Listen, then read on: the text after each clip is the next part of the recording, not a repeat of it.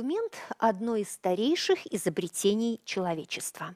Он, как и язык, не просто система знаков, а своеобразный инструмент организации жизни государства, общества и человека. Посвятив один из выпусков «Доброго вечера» именно документам и э, приняв не один десяток вопросов в прямом эфире, по телефону и в Вайбер, мы поняли, что эта тема очень актуальная. Добрый вечер, Гомель.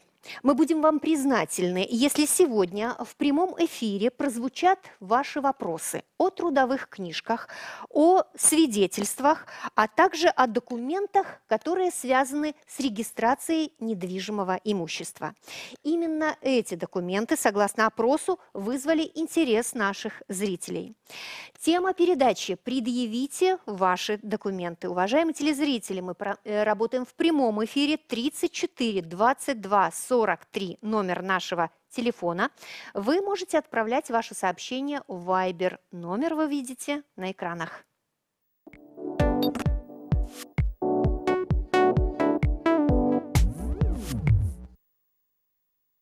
время документы есть не только у людей, они есть у животных, у автомобилей, у зданий, бытовой техники. Но если вещь может служить человеку и без документов, то человек без документов считается вне закона. Почему? Спросим у наших гостей. Уважаемые телезрители, я рада вам представить Екатерину Филипцову, главного правового инспектора труда Гомельского областного объединения профсоюзов. Добрый вечер, Добрый Екатерина. вечер. Ольгу Цикунову, начальника отдела ЗАГС Гомельского райисполкома. Ольга, приветствую вас. Добрый вечер. И Виктора Страхановича, начальника службы по оказанию риэлторских услуг и оценки Гомельского городского филиала Гомельского агентства по государственной регистрации и земельному кадастру. Добрый вечер. Такой вопрос общий. Вот за последние десятилетия Беларусь очень продвинулась э, вперед в создании всевозможных баз данных. У нас сейчас повальная компьютеризация. Скажите, не означает ли это, что скоро многие документы канут в лету и будут считаться пережитком прошлого? Многие, не многие, но все-таки часть документов канет. Это вы о своих, Это я Виктор чисто Костелевич? да, о том, что вот связано с государственной регистрацией. Так. Значит, это основано на том, что с 2002 года в соответствии с законом о государственной регистрации э, в нашем агентстве, и это была государственная программа, создавался единый государственный регистр недвижимого имущества. Он сформирован, дополняется новыми данными. Также оформлены э, все бумажные носители архива, архивные документы, в электронный архив переведены. Значит, также создан и дополняется реестр технических характеристик недвижимого имущества. Так. Это тоже большая э, бумага. Э, Вот можете сзади, сзади меня на плакате, на Да, технический да, да, паспорт. на стенде. Да. И, естественно, создан реестр топографических карт, который, который тоже переводится на электронные носители. Вот, э, для улучшения и облегчения работы с заказчиками создана система контроля э, движения нарядов и заказов, где абсолютно не требуется бумага, только роспись человека в приеме заказа. То есть Я это поняла. происходит и по скорости, и по удобству. Но вот все-таки вот эта магия бумажного документа, она присутствует, согласитесь. Каждый человек, имея на руках бумагу, он чувствует себя увереннее. Это так, да. Это так. Ольга, а вы разделяете мнение Виктора Казимировича? Вот, э, Вы знаете, сможем Елена, ли мы отказаться от свидетельств? Я соглашусь с вами, что магия какая-то существует, потому что, может быть, э, технического характера документы как-то быстрее уйдут в электронный документооборот. Но документы свидетельства о рождении, тот документ, без которого я, например, себе пока не представляю существование. То есть вы предполагаете, что если и уйдут эти Если- документы, то не так скоро? Он даже если уйдет, он все равно перейдет в другую форму, в какую-то выписку с реестра, с регистра. На сегодняшний день у нас работает регистр населения, куда вносятся все сведения, персональные данные граждан.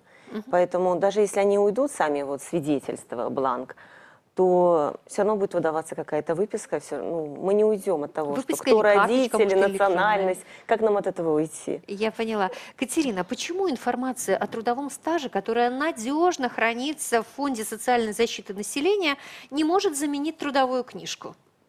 Ну, во-первых, потому что она хранится всего лишь с 2003 года. То есть периоды работы до 2003 года подтверждаются у нас исключительно трудовой книжкой, которая является основным документом о трудовой деятельности гражданина. Так. Плюс ко всему в трудовой книжке, помимо приема на работу и периода работы, есть э, отдельные сведения, которые не содержатся э, в информации фонда, такие как, например, э, сведения об особом характере работы, сведения о повышении квалификации, э, сведения, например, о назначении пенсии за выслугу лет. То есть, э, имея трудовую книжку на руках, наниматель может за считанные секунды проследить всю трудовую деятельность э, человека, не обращаясь ни к какой базе данных. То есть это гораздо удобнее. И вы считаете, что трудовые книжки в ближайшем будущем останутся? Я считаю, что да, хотя наша соседка Россия с 1 января 2018 года вводит электронные трудовые книжки. Не для всех э, поголовно граждан, однако постепенно планируется перевод. Но думаю, что нам пока это не грозит. Вот что интересно, мне вспомнилось. Вчера статистики Беларуси отмечали свой профессиональный праздник. Если я не ошибаюсь, вчера, да? И вот мне приходилось бывать в отделе демографической статистики. Все, кроме того, что они все это в электронном виде ведут, у них обязательно есть книги, в которых вручную все записывается, рисуются графики. Они сказали, это обязательно. А что, если вдруг с электронной базой что-то? А здесь вот у нас все есть. Поэтому, ну да, наверное, все-таки это не просто магия, а наличие ну, это же история, да, вдохнуть пыль этих страниц прекрасно. Э, Второй вопрос у меня к вам, Катерина. Молодое поколение, которое, ну, скажем так, начинает свою трудовую деятельность, наверное, очень удивится, если узнает, что у жителей села, например, такой э, документ, как трудовая книжка, э, появился относительно недавно, всего каких-то 40 лет тому назад. А давно ли появились трудовые книжки у жителей городов, ну, территории современной Беларуси? Э, На территории современной независимой Беларуси первый образец единой трудовой книжки появился в 1993 году. Так, А Далее образец менялся в Тысяча- 95 э, в 1990 993 так. 993, затем в 1995 был изменен образец и в 2014 году. Вот синенькая книжечка, это С- э, образец... Синенькая книжечка – это образец 1995 года. Так, Если мы это во- самая первая, да? Это в современной Беларуси? Совре- Нет, современная? это второе издание, Это это, второй образец. На трудовой книжке э, образца 93 года вот здесь э, был герб погоня. Поняла. Э, Это образец 95 года с нынешним гербом. Мгм. А вот эта зелененькая такая симпатичная, у меня такая же. Это зелененькая трудовая книжка. Э, Это образец у нас будет 73 года. 73 года. Да. И, наконец, вот такая серая, а, тоже Советский Союз. Это будет самый, скажем так, э, образец ранний. Это образец 1938 года. И такие у вас есть в архиве? Есть. Э, В настоящее время в Республике Беларусь в ходу э, трудовые книжки всех образцов. 1938 года, 1973 года, 1993 года, 95 и 2014 года. Очень интересно, очень здорово. Ольга, вам вопрос. Э, Как скоро после рождения человека появляется у него первый документ? Первый документ – это наше свидетельство о рождении. Это любимое. правда. Поэтому свидетельство о рождении можно получить родителям родившегося ребенка, как только им выдали на руки медицинскую справку с родильного дома. Можно уже обращаться в ЗАГС и регистрировать рождение. Вот для чего ходят в ЗАГС, народ точно знает. ЗАГС почему-то, ну, ассоциация – это заключение брака, да? А вот э, что означает вот эта э, аббревиатура ЗАГС? известно далеко не всем. Пожалуйста. Записи актов гражданского состояния. Знаете, что это не контора, это ну, отдел записи Отдел актов записи гражданского, актов гражданского состояния. состояния. Большое спасибо. Виктор Казимирович, документ свидетельства о рождении, как мы выяснили, Человек родился, он сразу может получить документ. Ну, не он сам, а его родители. А вот в каком возрасте у гражданина может появиться свидетельство о регистрации имущества? Несовершеннолетний ребенок имеет право получить свидетельство о госрегистрации на недвижимое имущество с момента рождения. Да, Ничего себе! именно с момента рождения. То есть возникает право при обстоятельствах следующих. Это, значит, приватизация. Когда один из родителей свои квоты отдает этому ребенку, третий вопрос, это, конечно, дарение недвижимого То есть имущества. малышу такому Малышу дарят. можно уже Да. подарить. При оформлении договора купли-продажи указывается владельцем именно ребенок. И он тоже с момента рождения приобретает это право. Поэтому здесь срок а, распоряжаться ребенок полноценно имеет право уже э, с 18 лет. То есть до 14 лет он именно э, только с опекуном. С 14 до 18 лет по, по письменному разрешению имеет право подписывать все документы, которые касаются недвижимого имущества. Это очень интересная информация, Да. я не знала абсолютно. Да. А вот продавать или покупать недвижимое имущество на территории Беларуси? Может, наверное, не только гражданин Беларуси? Не только. У нас э, законодательством в Республике Беларусь предусмотрено не резиденты Республики Беларусь имеют право приобретать или отчуждать. Для приобретения необходимо перевод паспорта данного гражданина нерезидента, нотариально заверенный, переводчик. А для того, чтобы продать, необходима регистрация в налоговых органах, для того, чтобы он стал на налоговый учет. Большое спасибо. Уважаемые телезрители, ваши вопросы, которые касаются трудовых книжек, свидетельств или документов, связанных с регистрацией недвижимого имущества, задавайте, пожалуйста, в прямом эфире. Обратите внимание, у нас изменился номер телефона 34 22 43. Также вы можете отправлять ваши вопросы в Viber. Номер вы видите на экранах.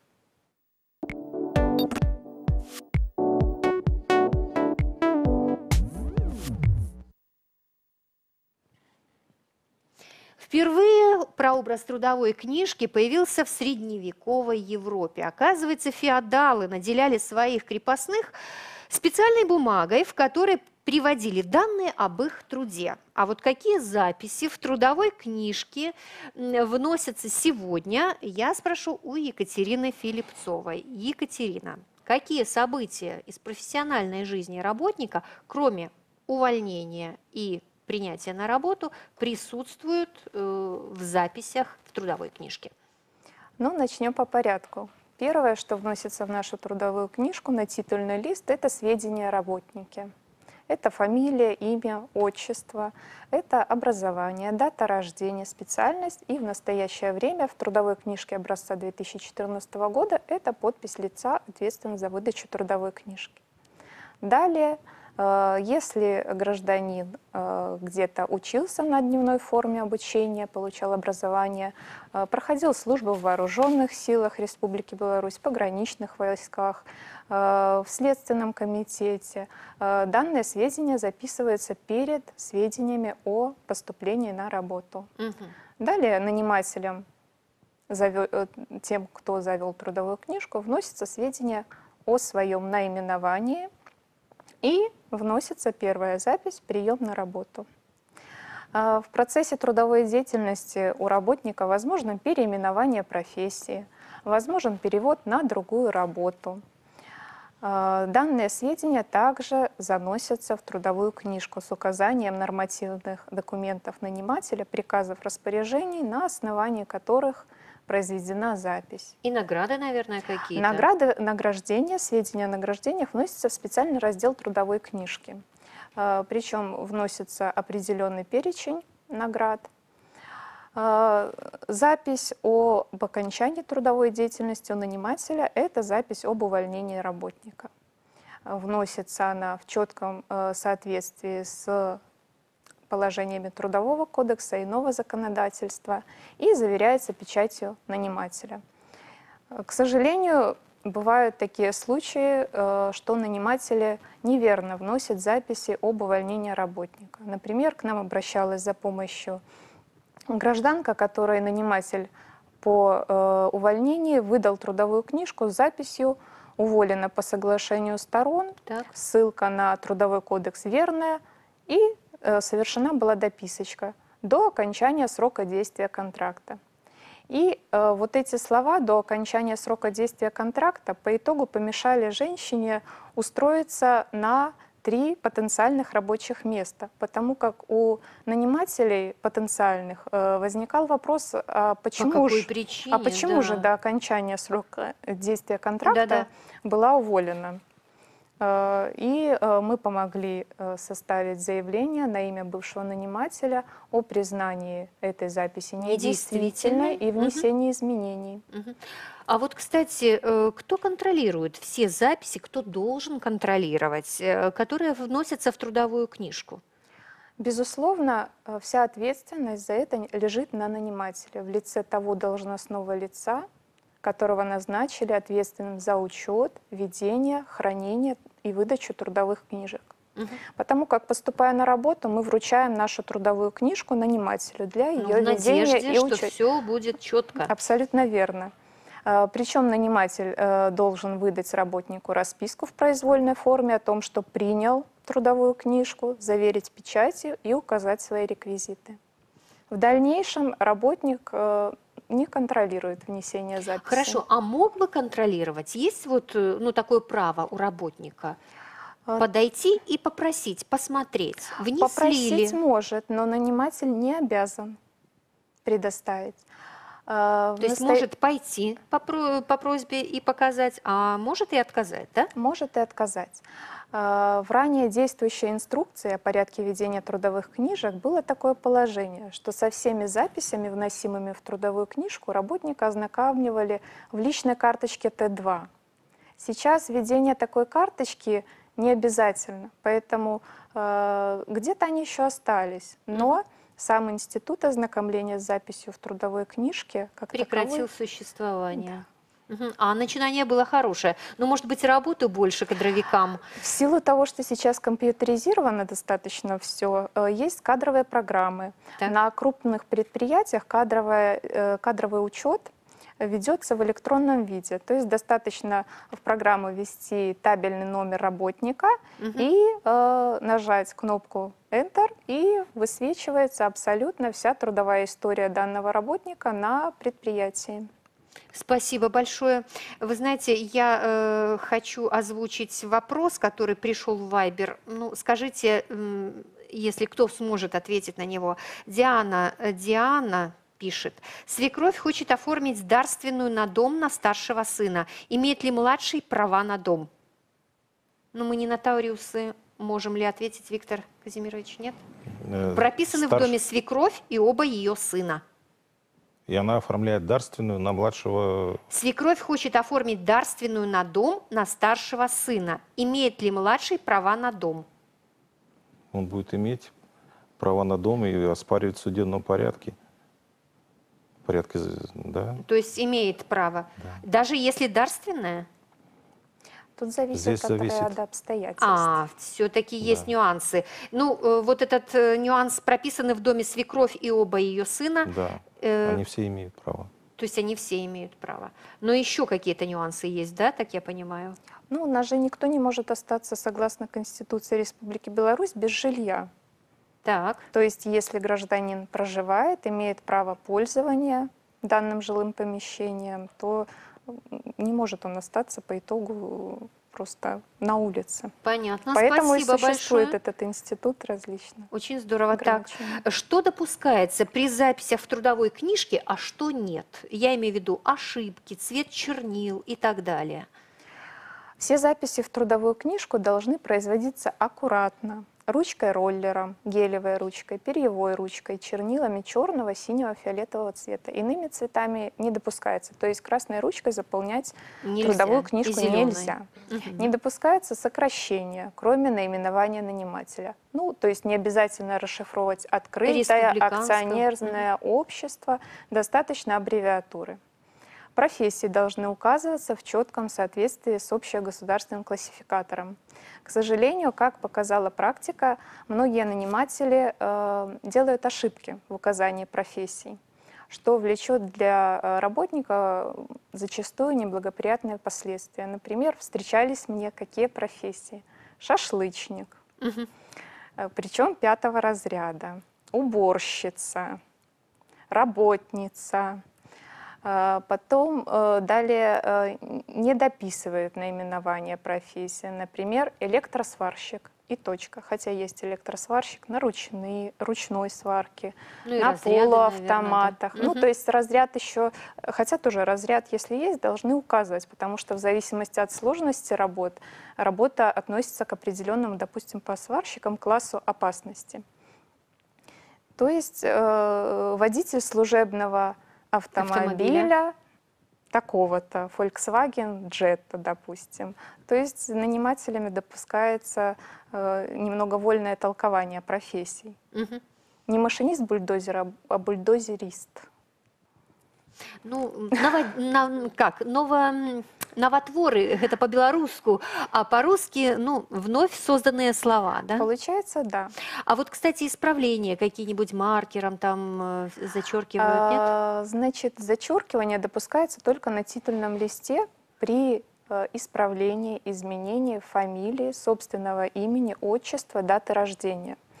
В таком случае э, горизонтальной аккуратной линией зачеркивается, Да? допустим, в случае вступления женщины в брак, девичья фамилия зачеркивается аккуратно, сверху пишется новая фамилия, и на обложке, получается, с левой стороны делается заверительная за- запись. На На основании, основании как- такого-то документа. Да, ставится подпись уполномоченного лица и обязательно печать. Спасибо. Э, Катерина, есть у нас телефонный звонок, уж не знаю, кому из гостей. Давайте слушать. Добрый вечер, мы приветствуем вас. Добрый вечер. Вас беспокоит с Брагинского района. Очень Антонина. Галина, Скажите, да? пожалуйста, у меня такой вопрос. У меня сын с семьей, э, жена и трое мальчиков, старшему 10 лет и младшему 3 недели. Проживают в ведомственной квартире. Но у меня после смерти мужа я переоформляла квартиру, и как бы у его есть одна четвертая, ну так на детей делилась э, квартира и одна четвертая доли. Но имеет ли право он стать на улучшение жилищных условий, то есть на расширение или на получение э, квартиры больше? Его в данный момент двухкомнатная.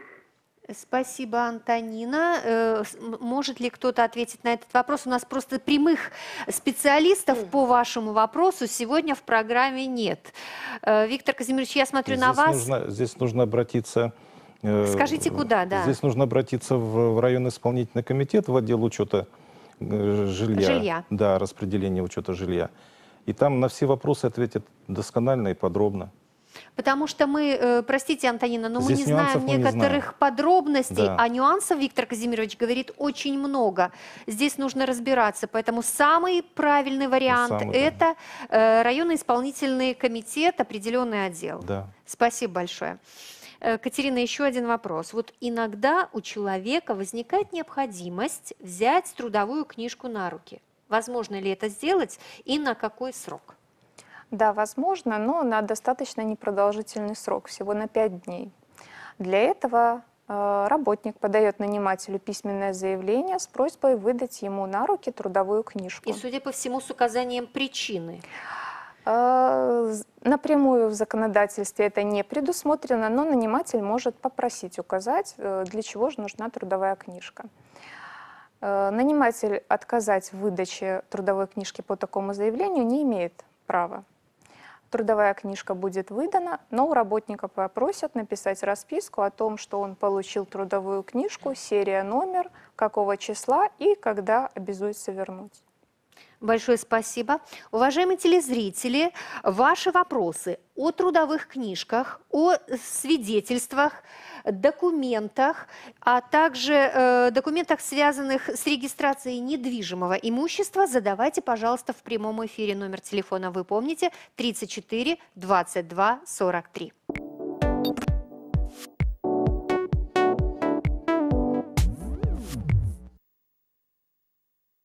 Предъявите ваши документы. Именно так звучит тема сегодняшнего доброго вечера. Уважаемые телезрители, 34 22 43 номер нашего телефона. И я хочу обратиться к гостям сегодняшней студии. Есть у нас телефонный звонок. Давайте слушать телезрителя. Здравствуйте. Говорите, пожалуйста. Да. Здравствуйте. Здравствуйте. Я хотела спросить вот такой вопрос. Я проработала почти 30 лет дояркой в колхозе. Так. Э, Теперь уже ОАО Неночская Калинковицкого района. Когда я обратилась к ним, чтобы отправили меня на пенсию на льгот, ну, по льготной пенсии, они сказали, что архива нет и вам не хватает стажу. Но они сказали, типа архив спалили или его вообще нету. И куда я не обращаюсь, я уже и в, ка- и в район обращалась. И уже куда мы только не писали, но все равно, я не знаю, где мы, где мы можем найти эти годы, чтобы, ну, кто еще... Кто может где в этой ситуации помочь и как поступают обычно в такой ситуации? Скажите, как Да, вас да. зовут? Как вас зовут? Или, э, Надежда Горевна. Надежда, очень э, побудьте пока на проводе. Э, кто-нибудь из гостей, Виктор Казимирович, Ольга, Ну, Катерина, я. пожалуйста, да. Э, Вся ответственность за хранение документов э, о трудовой деятельности работника лежит на нанимателе. Э, Документы имеют свой срок хранения. Э, Если организация ликвидируется, э, она должна передать все свои документы в архив по личному составу. В данном случае э, нашему Надежде Надежда. Надежде э, стоит обратиться в областной архив по личному составу. Но э, так как, э, как я поняла, речь идет о специальном стаже, э, тут, э, возможно, нужно какие-то уточняющие документы, не просто подтверждающие стаж, а документы, подтверждающие, допустим, полную занятость в течение рабочего дня. Надежде следует обратиться э, для оформления пенсии льготной за э, уточняющей справкой, которую обязан выдать наниматель. То есть подтвердить э, те условия, с которыми законодательство связывает наступление льготной пенсии. К А. сожалению, если такую справку наниматель не, Не- даст, Да. если данные ни в областном архиве, ни в районном не сохранились, то э, больше э, документов ис- истребовать, к сожалению, будет неоткуда. И доказать нельзя будет. Нет. То есть в трудовой книжке у нас э, зачастую недостаточно сведений для установления конкретно, чем же занимался работник, э, о том периоде времени, которым он был занят э, с вредными, опасными условиями труда, что конкретно делал работник, что ему поручалось, получал ли он доплату, был ли у него дополнительный отпуск, то есть расчетные листки. Поэтому, э, к сожалению, такие обращения имеют место в областном объединении профсоюзов.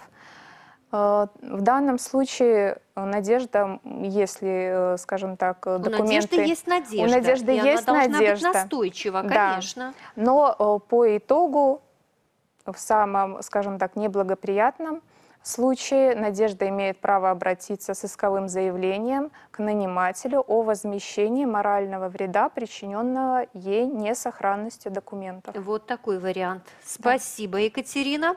Уважаемые телезрители, пожалуйста, звоните 34 22 43. Так уж у нас повелось, что каждый порядочный гражданин, кроме паспорта, трудовой книжки, он обязательно имеет набор свидетельств о рождении, о браке, иногда о расторжении, иногда несколько. Вот обо всех нюансах оформления названных документов спросим у Ольги Цикуновой, начальника отдела ЗАГС Гомельского райисполкома. Ольга, как долго сегодня оформляются документы в ЗАГСах? Ну, на каждый выдаваемый документ отделом ЗАГСа есть свой определенный срок выдачи. Ну, наше излюбленное свидетельство о рождении, опять же, к нему вернемся. Регистрация рождения у нас производится в течение двух дней со дня обращения гражданина. Повторные свидетельства также о рождении, о заключении брака, что часто люди обращаются к нам в отдел ЗАГСа. Предусмотрен срок выдачи 7 дней. Ну, сроков много, все перечислять. Я Самые поняла, акту- это этого такие достаточно. Вы самые скажите, актуальные. вот кто-то торопится, а кто-то не спешит получать свидетельства, так как долго вы храните те свидетельства, которые выписаны? Если выписано повторное свидетельство, и гражданин за ним не пришел, Мгм. оно хранится в архиве в течение года. А потом оно подлежит списанию, аннулируется уничтожению. Э, Есть еще такой вопрос. Э, Есть ли новшества в самой процедуре выдачи свидетельств какие-то? Что-то Ну, поменялось? новшества только в бланке свидетельства произошли у нас. Вносится сейчас при регистрации рождения. Ребенку присваивается идентификационный номер при базе. При внесении в базу регистр населения запрашивается номер и вносится в свидетельство. Также э, новшество есть в свидетельстве о смерти. Также вносится идентификационный номер умершего и не указывается сейчас в бланке причина смерти умершего. Указывается только, только код смерти. Ну, это как в больничных, да, код заболевания. Да, да, с врачебного переносится причина смерти. Смерти мы сейчас уже не увидим. Хорошо, Ольга, вот мы с Катериной говорили, на что должен обратить, ну, на что лучше, если обратит внимание сам работник в своей трудовой книжке, так? Так вот, на что должен обратить внимание гражданин, получающий свидетельство о браке, о расторжении брака, о рождении, чтобы, ну, быть уверенным, что все точно. Ну, конечно же, на все персональные сведения. Это фамилия, имя, отчество, дата рождения, место рождения. Ну, я не могу сказать, что сильно что-то что-то важное. Надо обращать внимание, все, полностью прочитывать все свидетельство. И если есть какие-то моменты, сразу же в отделе ЗАГС обращаться к специалисту на разъяснение и уже выяснять, если есть какие-то ошибки. А если обнаруживается ошибка? Ну, если обнаружится ошибка, нужно выяснить причину этой ошибки, потому что последствия ошибки бывают разные. Нужно понимать, что при выдаче свидетельства на основании чего выдается свидетельство? Свидетельство выдается на основании записи акта гражданского состояния. А уже сведения в актовую запись гражданского состояния вносятся с паспортов, с документов, удостоверяющих личность. Поэтому граждане в первую очередь должны внимательно ознакомливаться со своим документом, удостоверяющим личность. Если же дальше в последующем он планирует обращаться в ЗАГС за регистрацией рождения ребенка, вступле- при вступлении в брак, Ну, Человек не может это предусмотреть. Конечно, Конечно. он должен планировать обращение Поэтому в ЗАГС по мы, каким-то да, причинам. специалисты в отделе ЗАГСа, я настраиваемся на то, что когда гражданин приходит, в первую очередь мы внимательно изучаем документы, удостоверяющие личность. Внимательно прежде чем составлять документы. актовую запись, потому что из-за этого ошибка может пойти дальше и дальше. Уже- Уважаемые телезрители, вы присылаете в Viber самые различные вопросы. Мы обязательно их зачитаем. Здесь есть вопрос Виктора Кузьмировича явно, но я немножко оттяну и чуть Хорошо. позже его зачитаю, сначала с Ольгой. Э, Такой вопрос, он пришел к нам э, в группе ВКонтакте. На момент регистрации брака в паспорте моего мужа была неправильно указана дата рождения. Данную ошибку мы заметили уже после регистрации брака и поменяли паспорт. В свидетельстве о браке ошибка осталась. Где исправить ошибку? Какие для этого нужны документы? А может, может быть, оставить все как есть? Написала этот вопрос Светлана. Вот как раз, как раз таки та ситуация, о которой я сейчас говорю. Да-да. При вступлении в брак граждане в ЗАГС предоставляют свои паспорта. А на сегодняшний день мы вплотную работаем с регистром населения. И как составляется актовая запись? По идентификационным номерам нашим всем, которые запрашиваются, сведения с базы. И все эти сведения приходят. Если у него в паспорте была уже допущена ошибка в дате рождения, она же приходит и к нам. И она же заполняется в актовую запись, и мы не можем проверить, как что. Потому мы обязаны вносить сведения в актовую запись на основании документа, удостоверяющего личность. Поэтому если мы уже эту ошибку обнаруживаем при подаче заявления, потому что граждане зачастую нам приносят свои свидетельства о рождении, и мы видим это расхождение, конечно же, мы указываем это гражданам, но мы не можем их заставить, мы можем им порекомендовать привести свои документы в порядок. А тут уже граждане сами должны делать свой выбор. Спасибо. Уважаемые телезрители, ваши вопросы о документах задавайте в прямом эфире. Номер телефона студии 34 22 43. Также вы можете отправлять ваши сообщения, вопросы в Viber. Номер вы видите на экранах.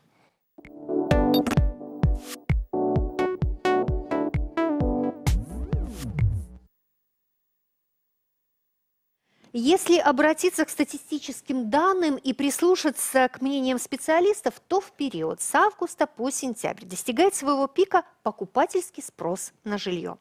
Какие документы необходимы при совершении успешной сделки купли или продажи квартиры. На какие нюансы в этих документах нужно обратить особое внимание? И можно ли в этой процедуре ограничиться собственными силами и не прибегать к знаниям, умениям и навыкам определенных специалистов? Об этом мы поговорим с начальником службы по оказанию риэлторских услуг и оценки Гомельского городского филиала Э, агентство по государственной регистрации земельному кадастру Виктором Казимировичем Страхановичем. Я еще раз напомню, что в беседе продолжают участвовать Екатерина Филипцова, главный правовой инспектор труда Гомельского областного объединения профсоюзов, и, конечно, Ольга Цикунова, начальник отдела ЗАГС Гомельского райисполкома. Виктор Казимирович, такой вопрос. Вот представим, что я покупатель, желающий приобрести квартиру. А, конечно, я выберу ту, которая подходит мне по моей сумме денег, которая мне понравилась и которая, э, ну, скажем так, хозяева которой имеют документы в полном комплекте. Так вот, ответьте, что должен сделать продавец? И какие документы должен подготовить, чтобы его э, предложение для меня, покупателя, было и выглядело юридически готовым?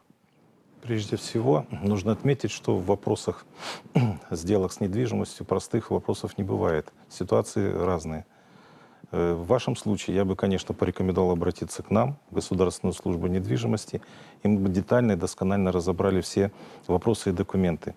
Потому что а, знать... Той квартиры, которую той квартиры, я да, держу на да, примете. Да. Угу. Вы знаете ее адрес, вы созвонились с владельцем, вы обговорили ряд вопросов, вы были там.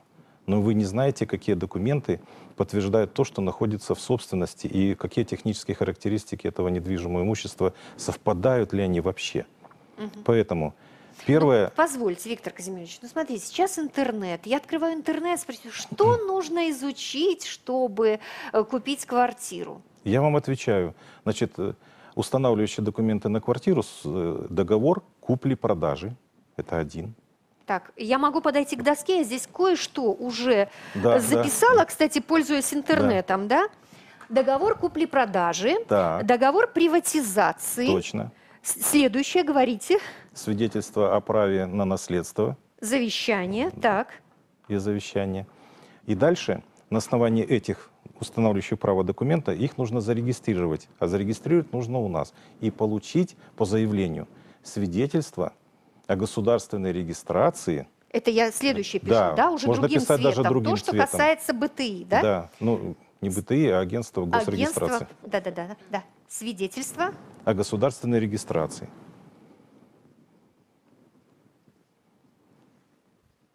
О госрегистрации, да. так. Угу. Этим свидетельством определяется, Вы кто владелец, с какого времени он владеет и чем владеет. И второй документ – это технический паспорт на этот объект недвижимости. Угу.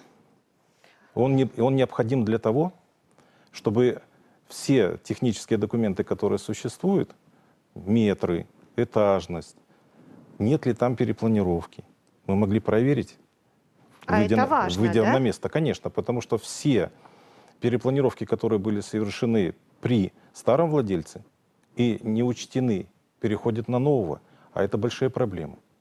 А этого владельца. достаточно? Всего пять документов? Следующее, которое необходимо, мы назовем их э, справочно-информационными. Я, наверное, вот так. Их несколько, да? да их, Я помечу их шестое. Справочно-информационные документы. Да. А вы рассказываете, что это за документы? Значит, э, справка. Вы, продав... вы покупатель, а он да. продавец. Значит, справка из налоговой инспекции об постановке на учет, но вдруг это не резидент Республики Беларусь. Правда? Так, это тоже важно. Да, мы же ведь должны знать. Дальше. Справка о составе семьи из расчетно-справочного центра. Она выдается в день обращения бесплатно, где мы видим, сколько граждан имеют право и прописано на, данном, э, на данной площади. Дальше, значит, мы должны запросить в отделе приватизации справку о конкретных э, владельцах и квотах каждого, кто там прописан, кто участвовал в этом. Кто на что имеет право, Точно, да? да, потому что здесь очень важно. Э, Следующие документы, это, допустим, э, справка о задолженностях за квартиру. Да? Это, кстати, тоже Да, важно, да? Потому что, получается, во время сделки мы узнаем нюанс, который могли решить до этого. А для этого и нужен специалист для работы. Вот, в принципе, такой перечень. Но он может различный быть от различных обстоятельств, в зависимости от того, как сложится. Но самое главное это вот это. Хорошо.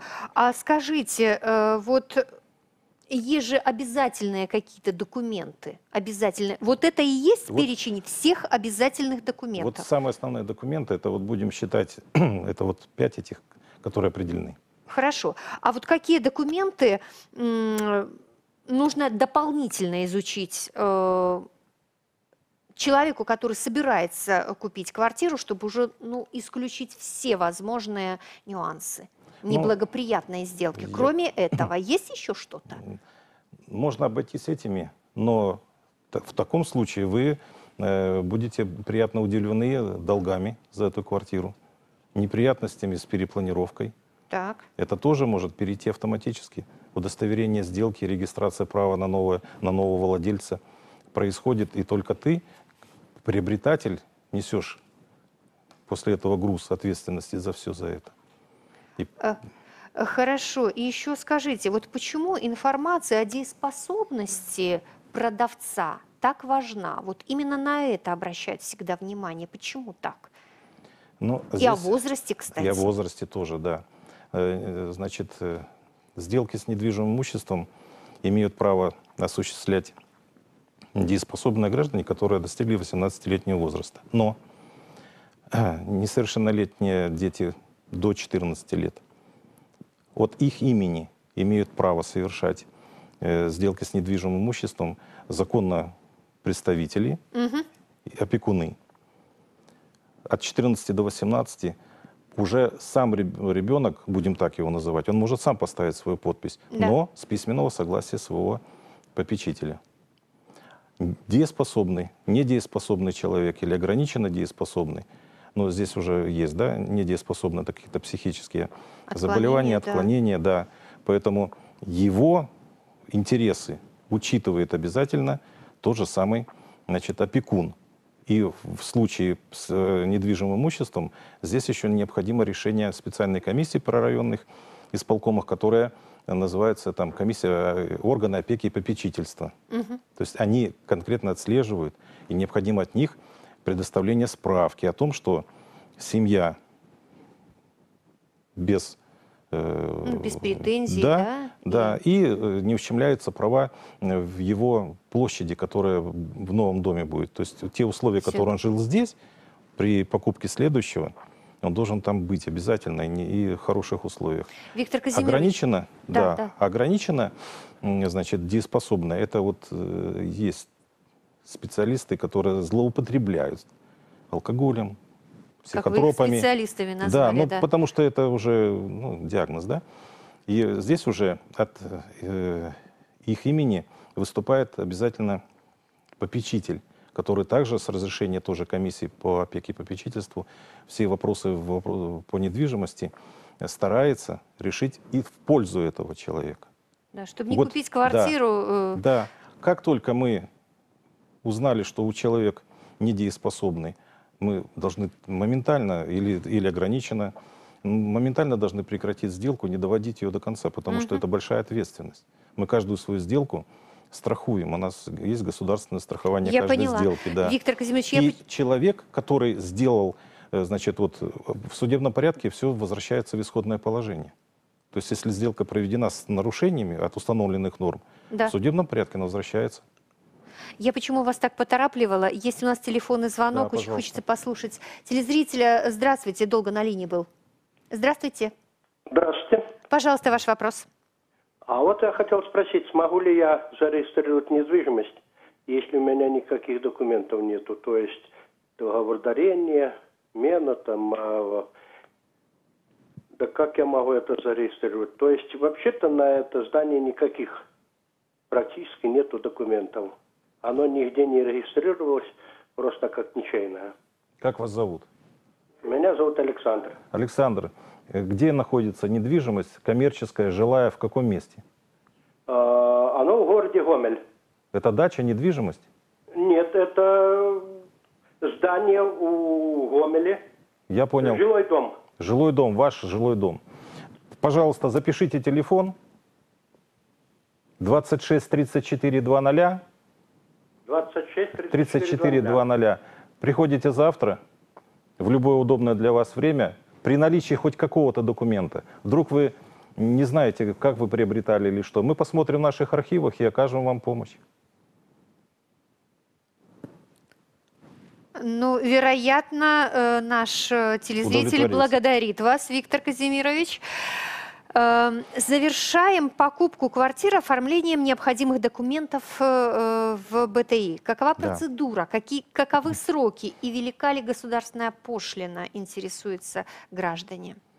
Значит, э, если мы сделку с недвижимостью проводили через Государственную службу недвижимости, то в этом случае, значит, продавец или покупатель, на них составляется с ними договор о купле или продаже. Да? Вот. И этим самым он себя освобождает от всех дальнейших хлопот по сбору и э, проверке всех документов, которые существуют.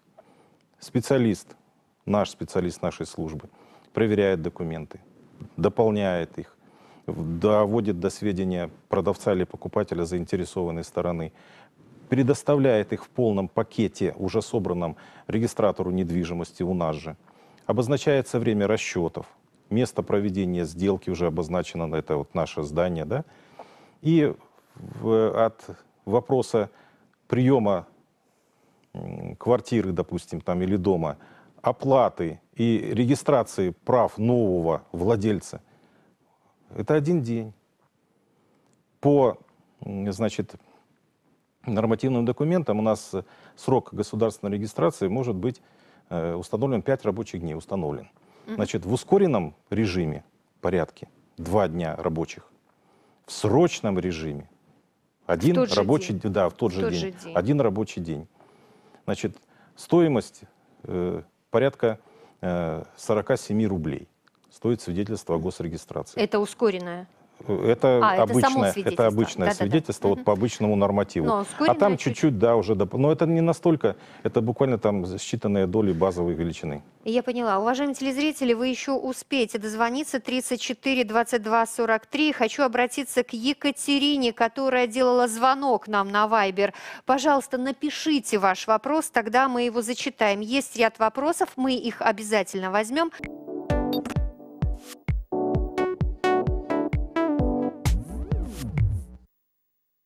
Уважаемые телезрители, тема сегодняшней программы «Предъявите ваши документы». И есть у нас телефонный звонок. Обращаюсь я к зрителям. Давайте слушать. Добрый вечер. Добрый. Пожалуйста, ваш вопрос. Меня зовут Елена. В собственности я имею трехкомнатную в Гомеле, приобретенную по договору купли-продажи в 2001 году. Так, В настоящее время квартиру я хочу подарить дочери.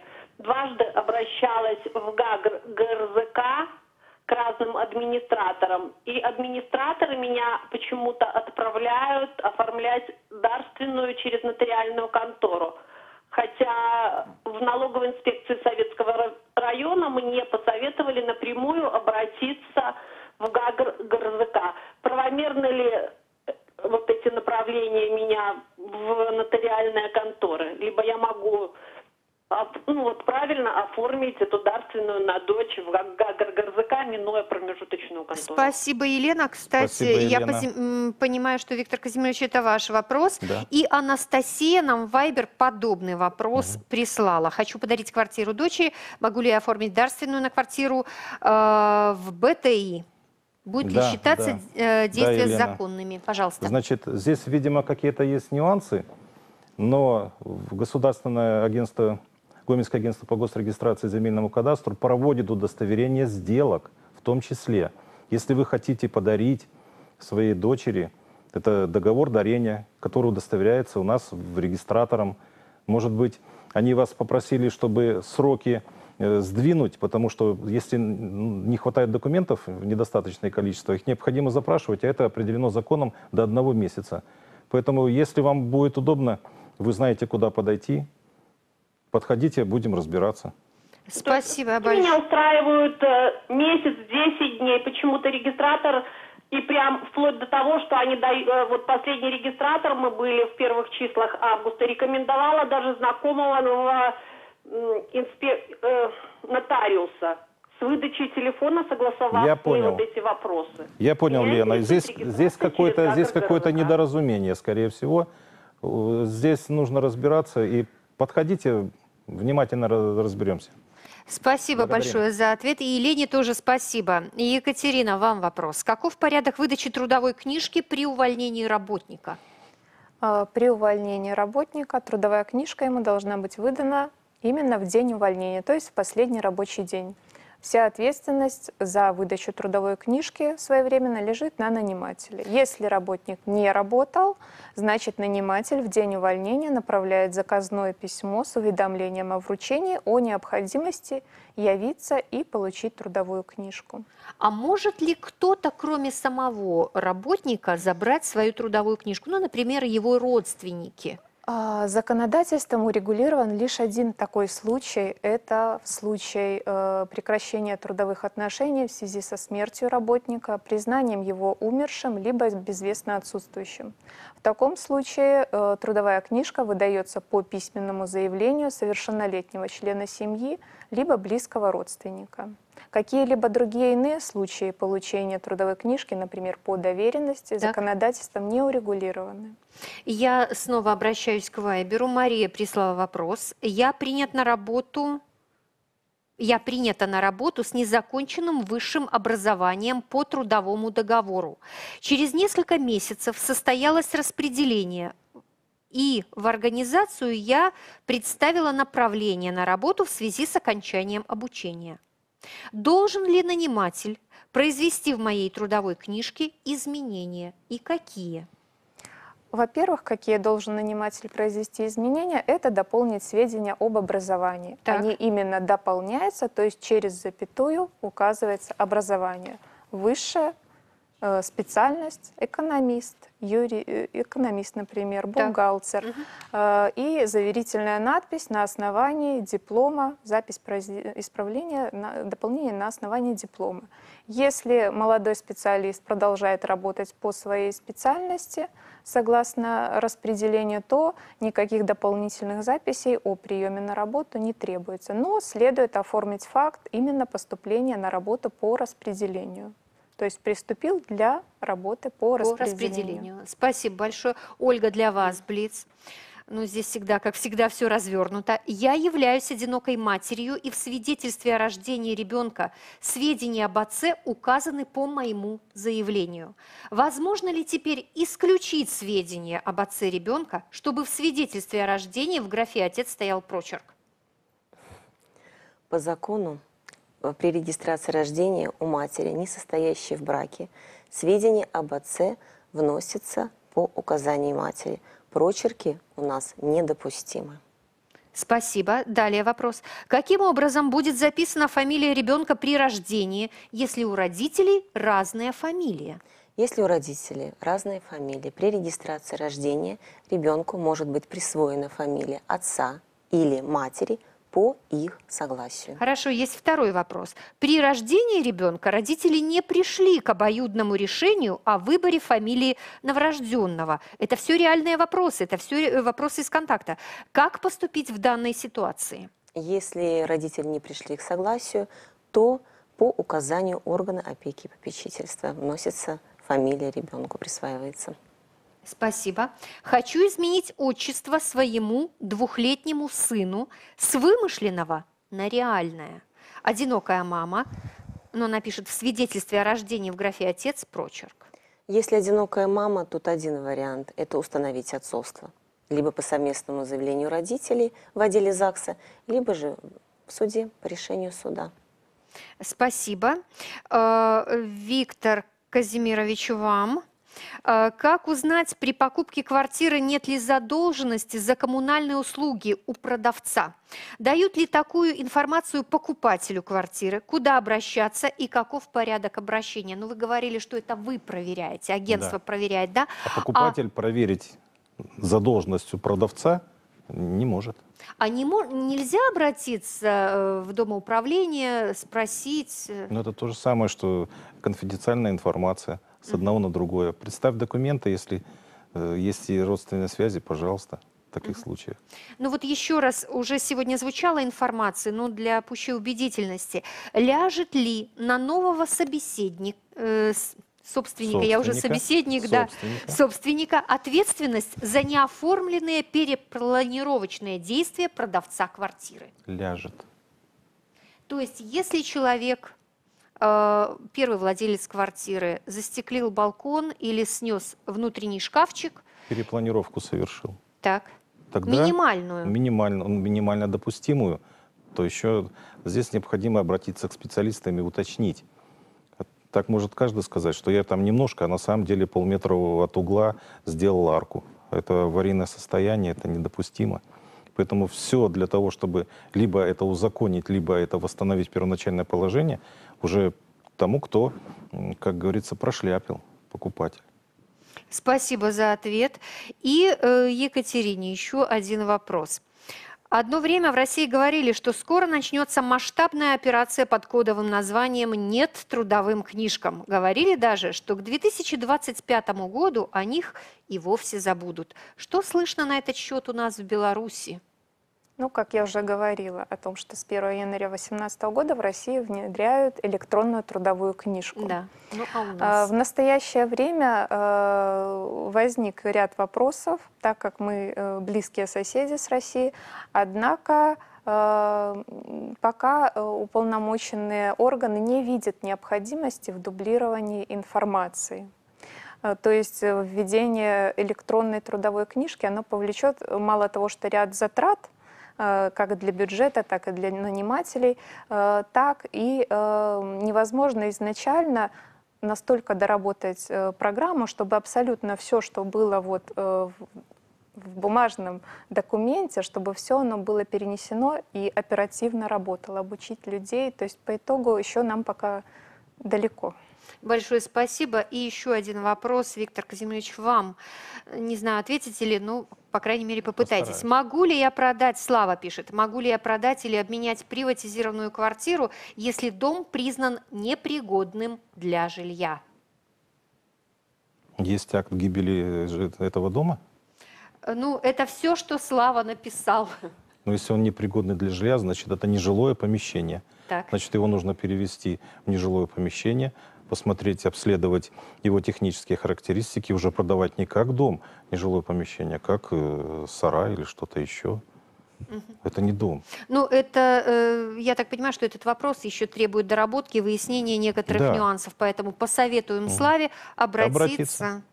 э, обратиться к Виктору Казимировичу или 26 специалистам. 34 00, номер телефона. Спасибо большое. Уважаемые участники программы Екатерина, Ольга, Виктор, я благодарю вас за интересную информацию, за компетентные ответы на вопросы, а также благодарю наших телезрителей за хорошую активность. Звоните 34 22 43, пишите нам в Viber по всем темам. Стоит запомнить, исходя из вывода нашей программы, что документы нужно вовремя оформлять, проверять, беречь, а при необходимости своевременно менять, не боясь нововведений. Уважаемые телезрители, с вами была программа «Добрый вечер, Гомель». Всего вам самого наилучшего и до новой встречи.